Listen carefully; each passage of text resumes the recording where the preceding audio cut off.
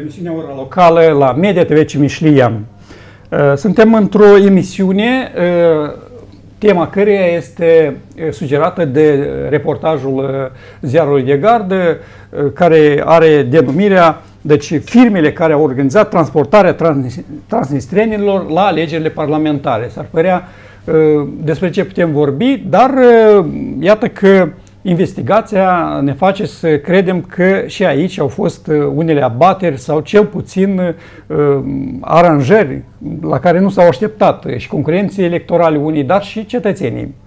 Uh, pentru a discuta această temă, l-am invitat pe redactorul Gazeta de Sud Ion Ciumeică în studio și vom încerca să analizăm uh, pe cât uh, este uh, de normal acest lucru cu transportarea aceasta organizată și mm, ce schimbări tectonice pot avea loc cu transnistrenii. Deci, cum spunea Grigore Vieru, că dacă ne unim cu Transnistria, pierdem Moldova. Eu observ că primii pași deja se fac. Dacă mai vine, eu știu, încă vreo 30 de mii, deja 60 de mii de alegători îmi pot schimba o leacă balanța. Eh, dar eh, până la urmă ei toți sunt cetățenii Republicii Moldova, într-un fel, să vedem cât eh, de bine se încadrează în legislație și în percepția noastră aceste transportări organizate. Ele, de fapt, nu sunt caruseli, dar sunt un fel de neam cu aceste carusele care erau condamnate foarte mult în alegerile precedente. Să urmărim puțin acest reportaj și revenim cu comentarii.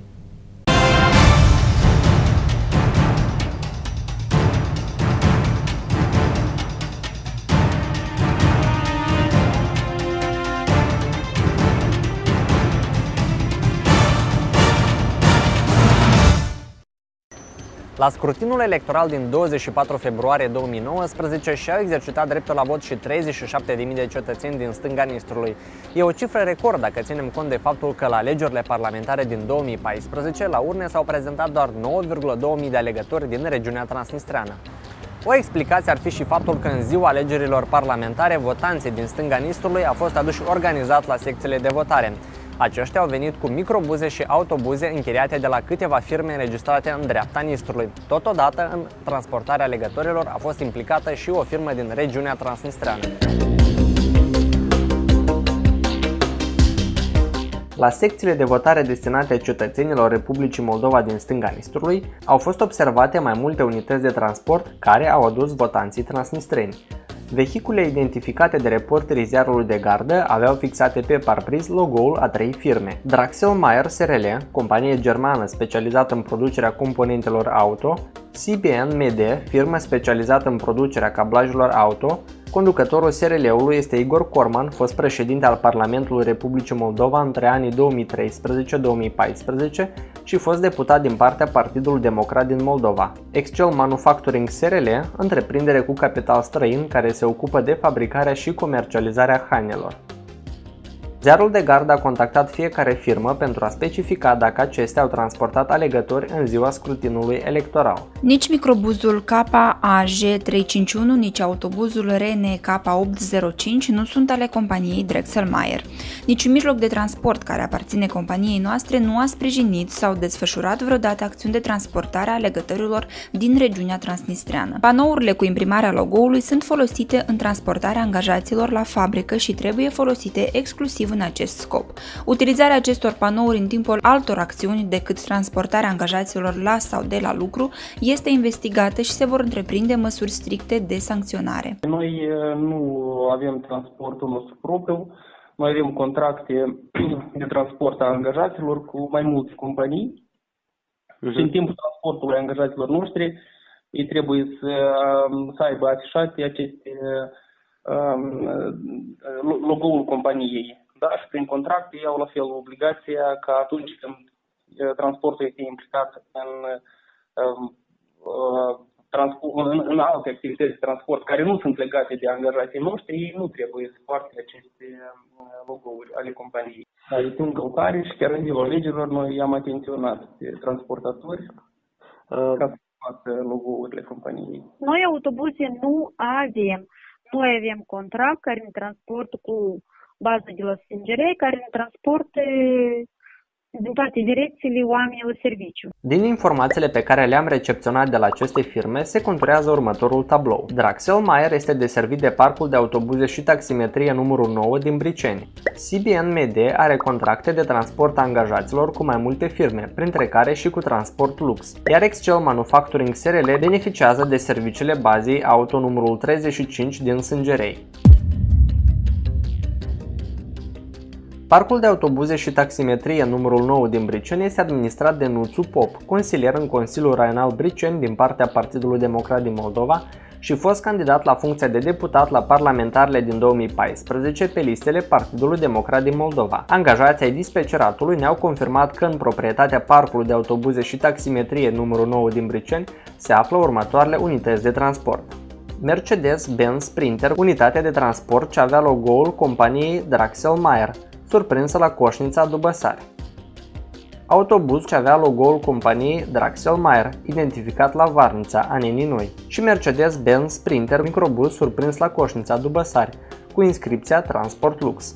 De asemenea, angajații dispeceratului ne-au confirmat că Transport Lux și parcul de autobuze și taximetrie numărul 9 din Briceni este aceeași entitate. Aceștia au infirmat faptul că autocarul de model MAN cu logo-ul CBN MD ar aparține parcului de autobuze și taximetrie numărul 9 din Briceni. L-am contactat telefonic pe Nuțu Pop, administratorul parcului de autobuze din Briceni, fiind întrebat dacă firma pe care o conduce a transportat votanți din regiunea transnistreană în ziua alegerilor, după câteva minute de liniște, acesta a răspuns. Eu o să mă abțin de la răspuns. De ce?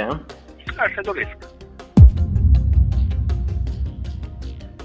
La Varnița, în Nenii Noi, reporterii ziarului de gard au identificat un autobuz de culoare albă, care avea fixat pe parbriz două plăcuțe, una cu inscripția Excel Manufacturing SRL și cea de-a doua cu inscripția Baza Transporturilor Auto 35. Societatea pe acțiuni Baza Auto numărul 35 din Sângerei prestează servicii de transport. În calitate de administrator figurează Mihail Cucoș. Acesta candidat la funcția de deputat la alegerile parlamentare din 22 martie 1998 din partea blocului electoral pentru o Moldova democratică și prosperă, devenită ulterior Partidul Democrat din Moldova. Liderul de atunci al formațiunii era Dumitru Deacov.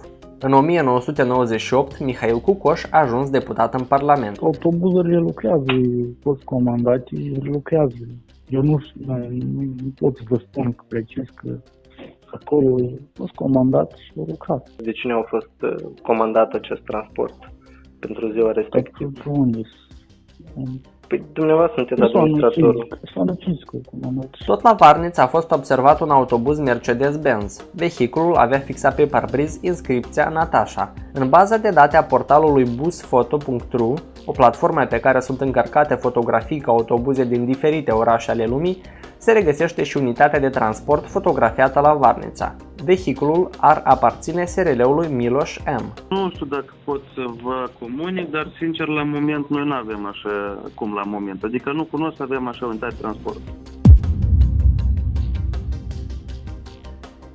Alegătorii transnistreni au fost aduși și cu unități de transport înmatriculate în stânga Nistrului. Potrivit ghidului de afaceri din Transnistria, vehiculele depistate de reporterii ziarului de gardă aparțin SRL-ului Passager Service cu adresa juridică la Tiraspol. Agentul economic se ocupă de transportarea interurbană a pasagerilor și deține mai multe rute de maxi-taxi. În calitate de director figurează Vladimir Gladki.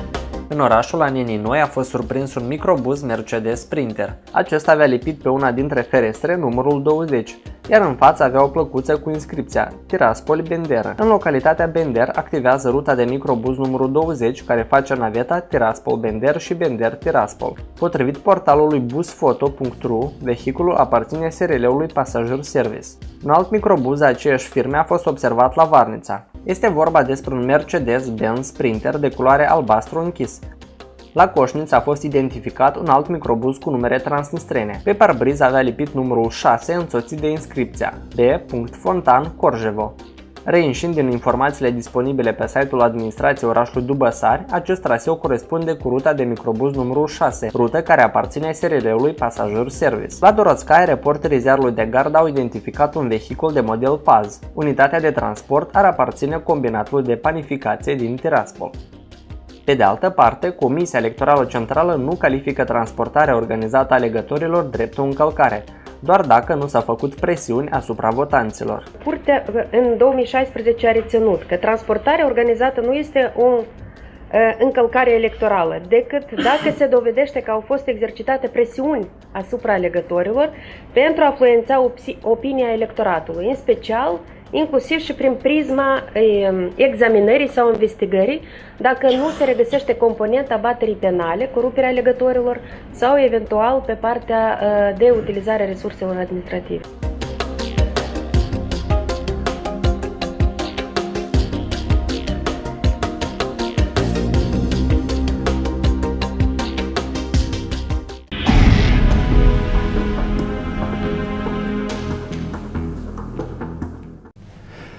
Așadar, am urmărit acest reportaj de la Ziarul de Gardă și în afară de aceasta am citit și în, în presă, în presa scrisă, au mai fost discuții pe Facebook, fotografii, denunțuri, drept că puține din ele au ajuns la instanța de judecată sau cel puțin au fost aduse, probate, fiindcă până la urmă, dacă nu există o inițiativă din partea unui concurent electoral să se plângă, atunci ele nu prea au așa mare valoare. Părerea dumneavoastră, cât de normal a fost această manevră de transportare a transnistrienilor, care s-a soldat și cu un efect. Deci dacă în 2014 la lege prezidențiale ați spus că um, au votat circa 9.000 de cetățeni, acum 37.000, deci este de aproape de 4 ori mai mult. Uh, cu ce se poate lămuri acest lucru? Da, chestiunea aceasta trebuie privită din, în opinia mea, din două puncte de vedere. Primul punct de vedere ar fi faptul că uh, alegătorii din stânga Nistrului au dreptul să participe la alegeri. Au dreptul, fiindcă este dreptul lor legitim, uh, ei sunt cetățenii Republicii Moldova și uh, faptul că au participat la scrutin, pe de o parte, ar trebui numai salutat.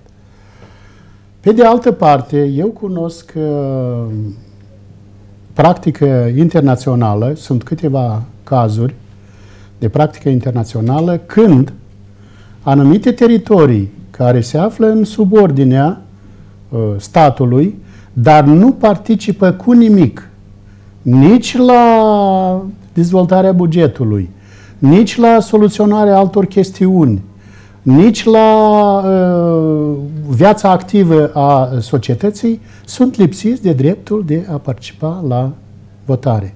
Iată, cu alegătorii din uh, stânga Nistrului, este tocmai această situație. Pe de o parte, da, ca cetățeni ai Republicii Moldova, ei au dreptul să participe la vot. Pe de altă parte, scuzați-mă, orice uh, scrutin electoral costă Actualele alegeri parlamentare ne-au costat 40 de milioane de lei. Și în cazul când cei 37 de mii de, de alegători nu au contribuit nici cu un bănuț la consolidarea bugetului Republicii Moldova, eu mă întreb, dar cu ce drept, mă scuzați, cu ce drept vin ei să ne rezolve soarta?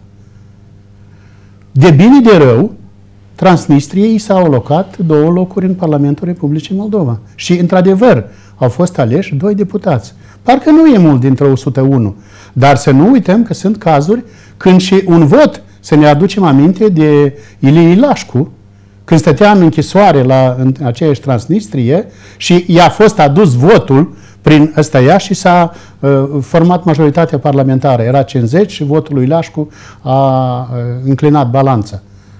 Păi așa că și aceste două voturi, în condițiile când sunt uh, chestiuni de principiu și pe, pe bază de balanță, pot uh, înclina balanța într-o direcție sau alta.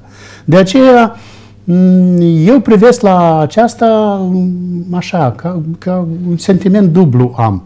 Pe de o parte, da, ei ar trebui să participe, pe de altă parte, da, da, cu ce ocazie, mă scuzați. Și încă ceva. Bine, noi cunoaștem în linii mari opțiunile alegătorilor din stânga Nistrului.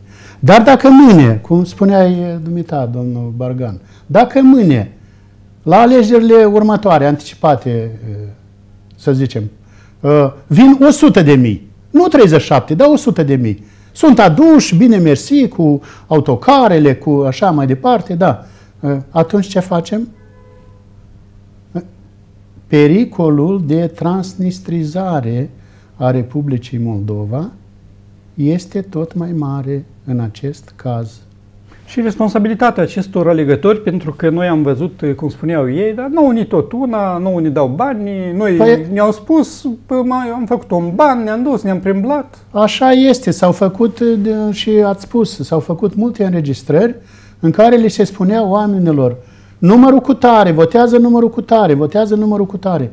Chiar dacă ei au fost aduși gratuit, cum se afirmă, au fost aduși gratuit și duși gratuit, da, chiar dacă uh, au fost, deși eu uh, n-aș exclude și, și uh, faptul că li s-a dat și bani, uh, oricum e o corupere a alegătorilor. Oricum e o corupere. Uh, în cazul când păi, uh, el vine în Republica Moldova, e clar că nu cunoaște, nu știe, nu, lui se spune, se dă mură în gură și el face ce Plus la aceasta, eu m-am mirat când am văzut la secții de votare sute de oameni, dragii mei, stând în rând. Nicăieri în Republica Moldova nu au fost atât de mari cozile ca la uh, secția de votare unde au fost transnistreni. Conștiința națională s-a trezit. e sus de-ar fi, de-ar fi fost uh, conștiința națională.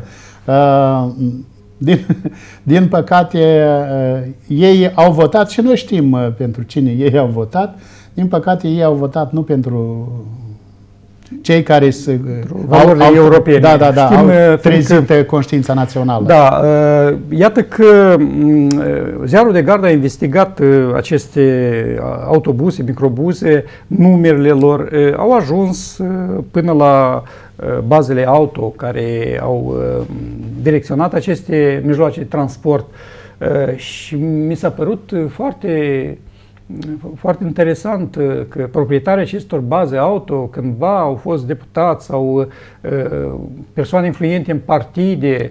Uh, deci nu este asta un fel de recompensă sau de, de sprijin a unui partid prin delegarea acestor autobuse.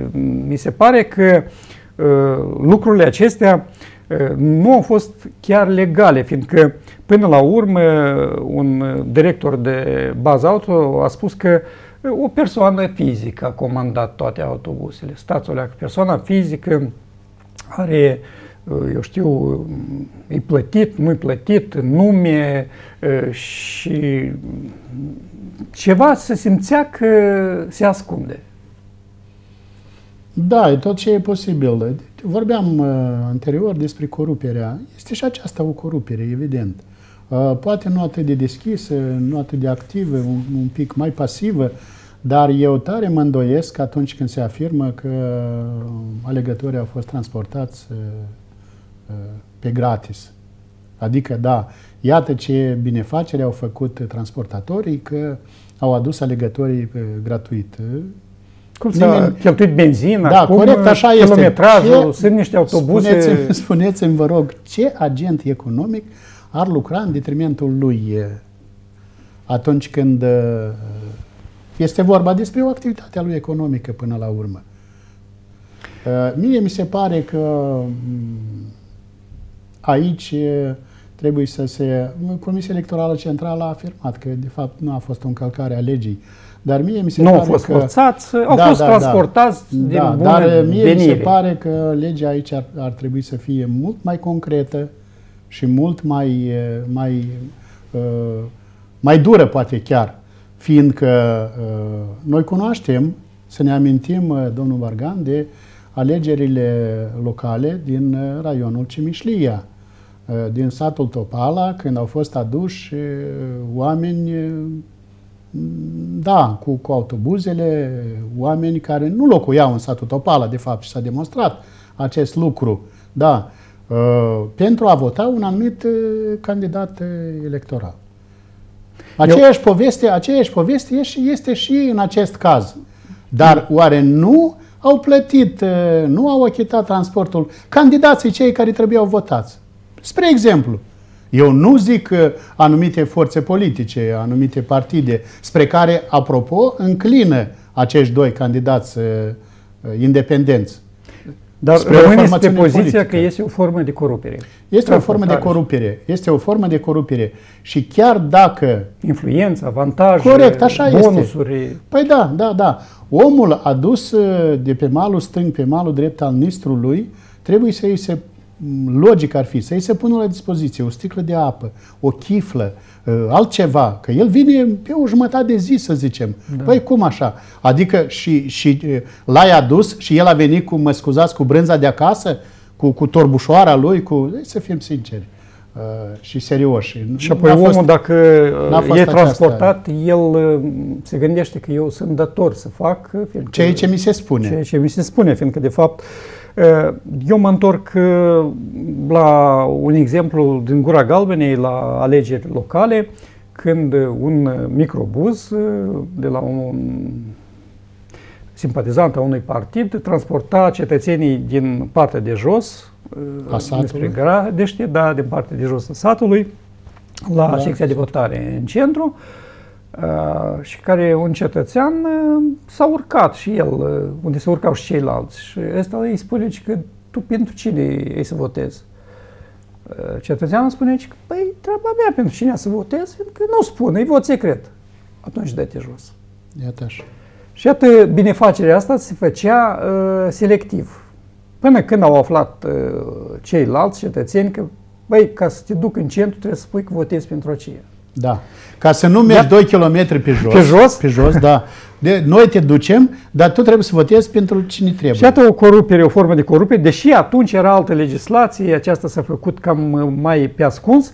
Acum, iată, vedem că această agitație în ziua alegerilor a destabilizat și a dezorientat o bună parte din cetățeni. Eu personal am fost la secția de votare unde, la liceul Eminescu, la întâlnire la poartă, placate, eu știu, afișaje electorale și chiar pliante în mână, îmbrăcați, simbolica partidului, adică ceea ce cândva ni se spunea că aceasta este o gravă încălcare și pot fi scoși din curs electorală, acum iată că prin lege s-a permis dar nu știu de ce s-au pregătit uh, de această permisiune doar mai mult două partide care au avut uh, stafuri întregi organizate acolo și uh, o campanie care oamenii treceau ca pentru un filtru. Nu era posibil să treci fără să nu se întindă mâna sau să te oprească, să vorbească, să te salute. Și unii cetățeni chiar s-au revoltat, au spus, uite, eu mi incomod, fiindcă trebuie să schimb o vorbă două, eu trebuie să rămân acolo, fotografiază, filmează și prezența mea în cercul ăsta, dar trebuia să, să facă o oprire de o secundă, 10, 3, să răspundă la o întrebare sau să, să ia acest pliant sau nu. Da, mi-am adus aminte de o zicală care sună cam așa, interesul poartă fesul cei care, adică forțele politice sau deputații din uh, fostul Parlament, care au votat uh, pentru votul uninominal, pentru sistemul mix de votare, tot ei s-au pronunțat pentru faptul de a mm, permite uh, agitația electorală în uh, ziua alegerilor. Uh, mie mi se pare uh, nu este corect uh, acest lucru, uh, până la urmă, uh, dat fiind faptul că se face abuz foarte mare și omul, într-un fel, chiar dacă s-a pornit de acasă cu o idee, mm. cu, cu, da, da, da, cu un gând, ajungând la secția de votare și fiind tras din mânică și din stânga și din dreapta și se pierde și, și nu mai rămâne cu gândul de acasă, și poate în genere să voteze nici pe cel care l-a tras de mâna dreaptă, nici pe cel care l-a tras de mâna stângă, da, cu tot cu altceva și nici cu, cu cel care s-a pornit el de acasă. Fiindcă, până la urmă, să fim sinceri, omul se zăpăcește când vede, da, da, și eu am votat la, la uh, secția numărul 2 de la Liceul Mihai Eminescu, da, și am văzut la poartă, într-adevăr, detașamente întregi, detașamente întregi ale două partide, nu le mai numim aici, dar da, și toți cu zâmbetul pe buze și da, și sper că vei vota cum trebuie și tot așa și așa mai departe, da. Uh, iarăși, ca să dacă vorbim despre o, despre o practică internațională, în foarte puține țări se uh, permite agitație electorală în ziua alegerilor. În foarte puține țări.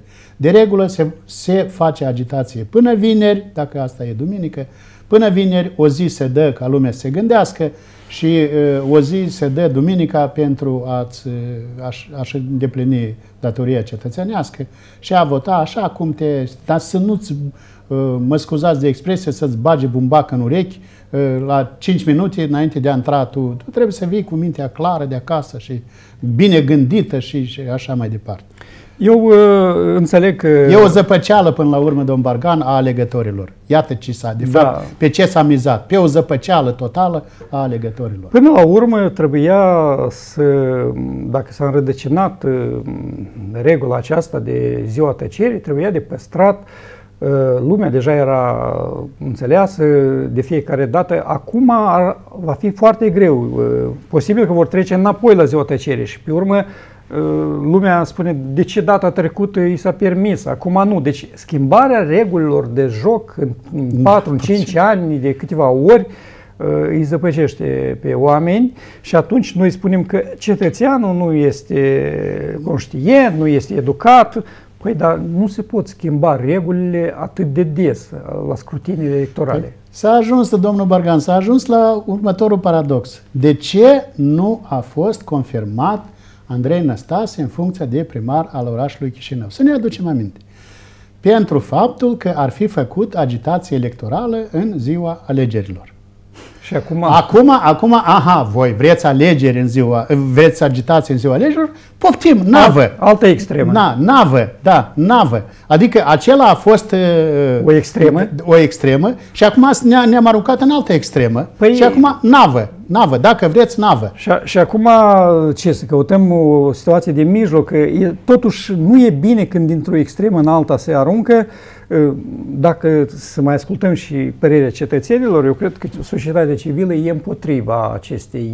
Da, da, și s-a pronunțat de la bun început. Și, ă, apropo, și societatea civilă și unele formațiuni politice au fost împotriva și votului mixt, dar și, ă, și Promolexul și Uh, juriștii pentru drepturile omului și multe organizații de media și uh, s-au pronunțat, de fapt, reprezentanții ai societății civile s-au pronunțat împotriva acestor modificări care, uh, într-adevăr, seamănă cu, cu niște metode de a zăpăci complet lumea.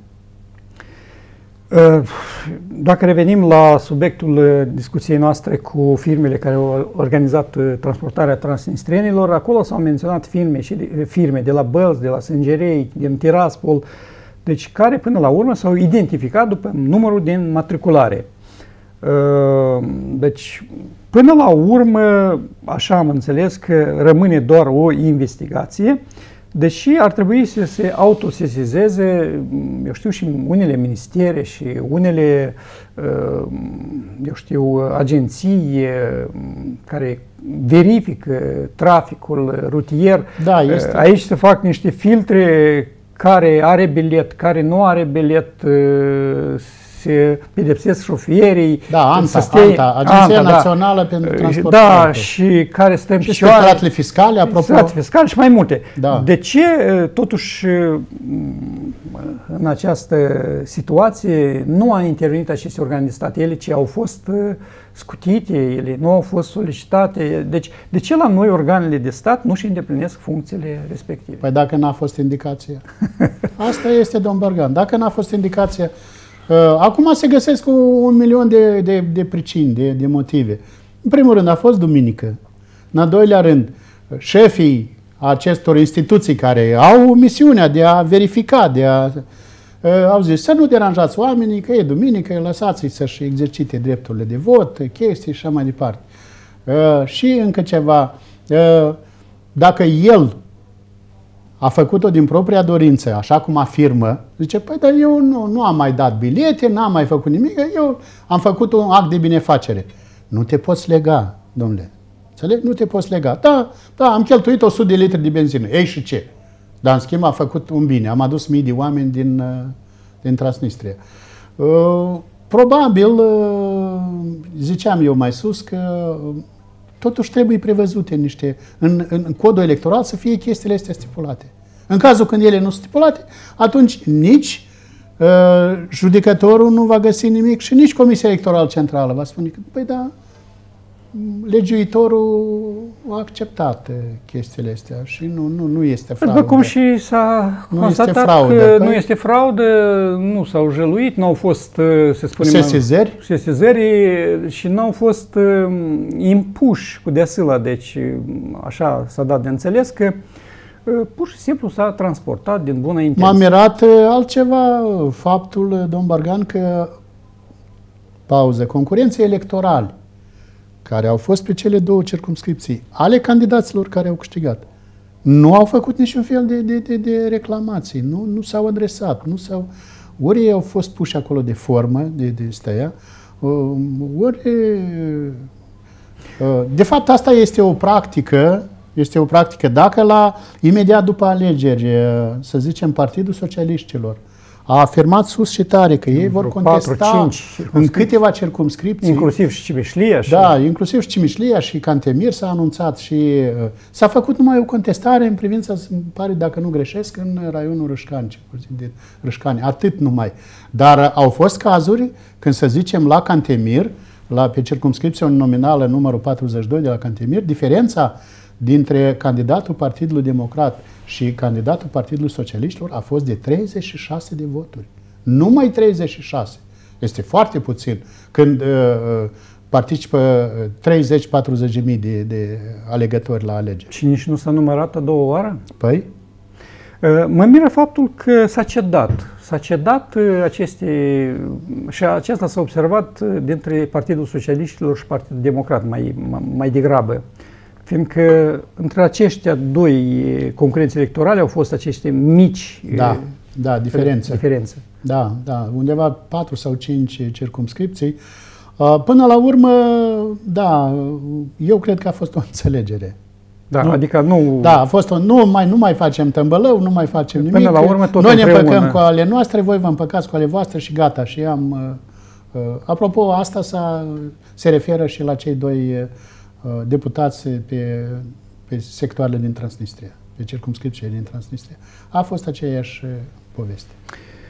Uh, Evident că nu se înscrie într-un lucru, într-un mers normal al uh, lucrurilor această transportare a transnistrienilor cu autobuse organizate. Uh, Până la urmă, noi înțelegem că s-a făcut această uh, schimbare și în legislație pentru a da o legitimitate și pentru a da o legitimitate uh, Parlamentului, că sunt și reprezentanți în stânga Nistrului în Parlament, uh, dar, cum am vorbit și mai sus, uh, nu știu cât uh, sunt ei de reprezentativi uh, pentru, să spunem așa, pentru Parlament uh, să reflecte doleanțele uh, cetățenilor din Transnistria. Și atunci este doar o mimare a acestei reprezentări. Da, așa este, domn Bargan. Eu chiar mă gândesc, merg mai departe și mă gândesc, dar dacă următoarea majoritate parlamentară din Parlament va încerca să reducă numărul deputaților de la 101 la 61, câte circumscripții vom avea în Transnistria? Spune-mi, te rog. A? Vor Vor rămâne două sau se vor face trei? Că nu cred să se reducă la una. Așa că aici este de gândit. Pas cu pas. Aici este, da, aici este de gândit. uh, Da, e un Si- joc. Da, și sigur, aici. uh, uh, sunt doar niște obiecții, stimați telespectatori, sunt niște reflexii pe marginea acestui subiect, uh, care am încercat să-l discutăm împreună cu domnul Ion Ciumeic, redactor la Gazeta de Sud, uh, din regiunea de sud a Republicii Moldova. Uh, Și eu cred că trebuie să tragem unele concluzii, învățăminte din alegerile precedente, uh, și trebuie de făcut un raport chiar în Parlament, niște recomandări, ce se poate de schimbat, ce nu, fiindcă până la urmă se poate spune ce a fost uh, făcut uh, în favoarea Republicii Moldova sau uh, în favoarea unor concurenți, um, dar cred eu că multe lucruri ar trebui clarificate și puse într-o analiză, poate CECU să facă, un, eu știu așa, o, o sinteză da, eu chiar mă așteptam la faptul că atât Comisia Electorală Centrală cât și Curtea Constituțională. Curtea Constituțională, evident, dar și organizațiile societății civile care au monitorizat aceste alegeri să vină cu niște concluzii uh, adresate Parlamentului. Oameni buni, iată așa și așa, iată cei cu uh, agitația electorală în ziua alegerilor, iată cei cu transportarea așa, observatorii, da, observatorii iată cei cu, da, da, da, da, adică uh, oricum din, din um, această, în acest scrutin, din această lecție, trebuie uh, uh, trase niște concluzii, fiindcă uh, eu astăzi nu pot afirma cu certitudine că alegerile locale din 24 februarie au fost mai bune decât alegerile prezidențiale din trei ani în urmă, să zicem, sau cu uh, alegerile trecute din uh, 2014. Mie, mie mi se pare că au fost niște lacune foarte și foarte serioase. Și mă miră faptul că înainte de alegeri sau chiar în perioada electorală, de zeci de ori am fost vizitați de, de experți internaționali. Da, corect, și așa. Locali, și, da. și interviuri, și anchete, discuții, și discuții. Și discuții da. Ca după alegeri, niciunul din ei, cel puțin, să nu, ne, nu că să ne mulțumească, dar să ne dea și nou un raport sau cel puțin să ne adune presa, societatea, ONG-urile cu care au discutat ei lucrat, da. și să facă un raport să spune oameni buni, ne-am convins, să fost sinceri cu noi, iată ce s-a confirmat sau invers și într-un fel să, să fie un feedback. De fapt, s-a rezultat doar la aceea că în Parlament aceste, acești reprezentanți, eu știu, sau la Noi, Până la urmă ei au constatat că alegerile în linii mari au fost uh, parțial libere, uh, oamenii și-au putut exprima voința și așa mai departe, dar, într-adevăr, uh, și eu am avut câteva discuții și din Georgia și din Statele Unite ale Americii și din alte țări au venit, s-au interesat care este situația, cum, chestii ca să treacă mai mult de o lună de zile după asta și să nu, să nu mai facă iar o întâlnire și să, ne, să discutăm, băi, dar uh, care e opinia dumneavoastră? Care, ce e bine, ce e rău, ce e... Uh, eu cred că um, și formațiunile politice ar trebui să-și facă niște concluzii din acest scrutin. Nu totul a fost bine, nu, nu totul. Poate că au fost și niște îmbunătățiri, poate că Uh, să zicem, uh, prezența la vot a fost așa, destul de, de, de, de bună comparativ cu alegerile anterioare. Dar uh, au fost și multe scăpări de care trebuie numai decât să ținem cont. Stimați telespectatori, și această emisiune face parte din acest feedback, cum spuneam noi, că să vorbim, să ne stătem cu dumneavoastră, să vă informăm nu doar uh, până la alegeri și în timpul alegerilor să facem dezbateri, dar și după aceasta să găsim posibilitatea să ne întâlnim. Îmi pare rău că, să vă spun sincer, au fost și aici candidați la deputați de la diferite formațiuni. După alegeri, niciunul n-a venit uh, în studio să spună o mulțumire sau cel puțin un mesaj, nu nouă mulțumire, dar uh, alegătorilor, fiindcă s-au uh, folosit într-un fel și de ziarul, gazeta Apropo, de același lucru a fost și la noi. Da, într-adevăr, nu deci nu a nu fost nicio cultură... mulțumire, nu a fost nicio mulțumire nici în ziară. Alegătorilor, partea... prin da, intermediul mass mediei. Corect, corect. Și aici ne pune în gardă această cultură a aleșilor uh, din Parlament. Sperăm că încă nu e târziu, poate vor face acest mesaj. Nouă nu ne rămâne să uh, mai revenim cu unele uh, discuții pe parcurs, vom vedea, vom urmări activitatea Parlamentului și chiar ne-am propus că uh, pe viitor uh, vom avea și niște discuții, nu doar uh, de nivel local, fiindcă și pe noi ne vizează acest Parlament, acest guvern, această schimbare de putere sau eu știu de accente în puterea Republicii Moldovei și depindem și noi, mai ales cu reforma administrativă teritorială, cu alegerile locale, cu multe altele și vom încerca să discutăm și să vă aducem părerea sau diferite opinii la aceste probleme. Tot ce se face la Chișinău, domnul Bargan, are influență directă asupra a ceea ce se întâmplă și la Cimișlia, și la Leova, și la Cantemir, și la Căușeni, în genere, în toată Republica Moldova. De aceea salut și eu această inițiativă, deschidere. într-adevăr, această deschidere. Ea trebuie folosită să încercăm să lămurim niște lucruri pe care le înțelegem și noi, așa cum le înțelegem, dar sperăm că cele spuse de noi uh, prezintă interes și pentru cititori, pentru cititori, ascultători, pentru, pentru cetățeni. Da, corect, așa e. Ca să se orienteze mai bine în anumite lucruri și dacă aceasta ne reușește, nu ne rămâne decât să, să fim și noi mulțumiți. Și să continuăm această da, activitate. să continuăm. Mulțumim, domnul Cimeică, mulțumim uh, telespectatorilor. Eu, Andrei Bargan, moderatorul emisiunii, vă spun toate cele bune. Pe curând, până la noi întâlniri.